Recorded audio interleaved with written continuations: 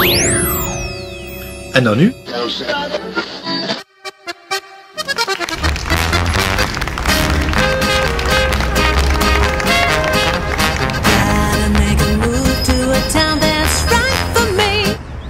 Hallo kijkers. Eh, allereerst de beste wensen voor 2014. Dat het nieuwe jaar maar heel veel nieuwe en leuke dingen voor u mag brengen. Ik had in de laatste column van vorig jaar een oproep gedaan om ideeën aan te leveren om deze stad wat leuker te maken. En eh, het regende werkelijk inzendingen. Dat wil je niet weten. Nou, helemaal niks dus.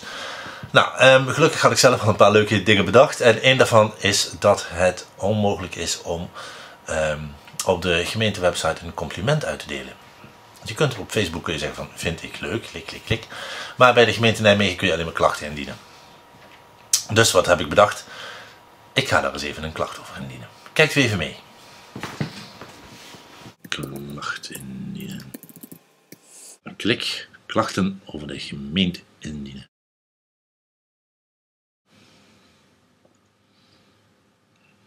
Overige. Ja, dat is uw klacht. Je kunt op de website van de gemeente nergens een leuk compliment achterlaten. En niet leuk, maar aardig compliment achterlaten. Wilt u een bewijs meesturen? Nee, dat hoeft niet. Heeft u een even verbetering? Ja, hebben wij. Misschien is het een idee om op de homepage slash startpagina een knopje te maken met een tekst in de trant van ik wil u een compliment geven.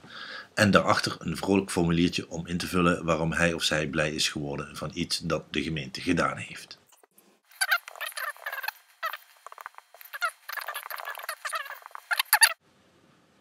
Nou, als dat nog geen goed begin is van het nieuwe jaar, dan weet ik het ook niet. Hup. Zo, bedankt voor het kijken en tot de volgende week.